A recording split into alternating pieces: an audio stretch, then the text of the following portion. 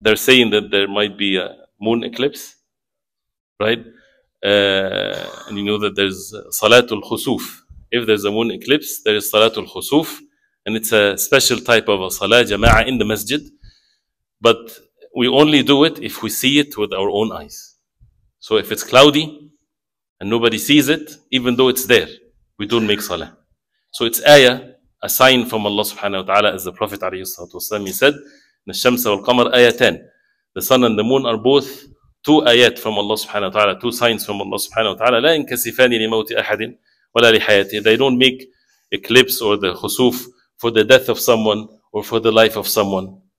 But as it's mentioned in the hadith, يخوف الله بهما عباده. Allah subhanahu wa ta'ala make their, make his slaves fear him. Allah subhanahu wa ta'ala is in control of all things. So for people to fear Allah, that's why the things to be done is to give charity, is to turn to Allah subhanahu wa ta'ala with salah if it's salah, with dua, to repent to Allah subhanahu wa ta'ala. This is signs of Allah. But then stay away from those who would say this is a sign of this, there's moon and there's sun eclipse at the end and fabricated narrations and things like this, that, that this is that, that's a, it's a sign of something major is going, going to happen.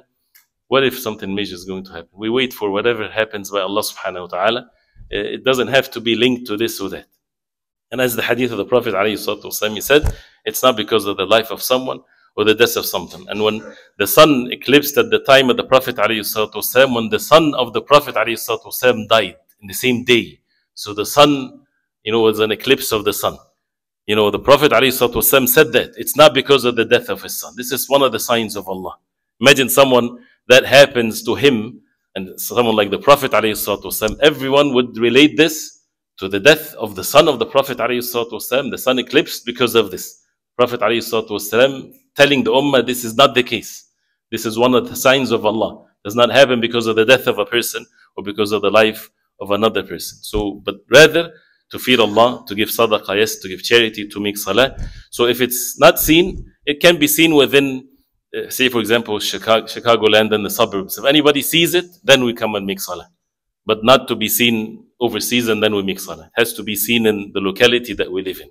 So if that's the case, then we'll come to the masjid and make salah. So you can check messages or something like this, inshallah. Allah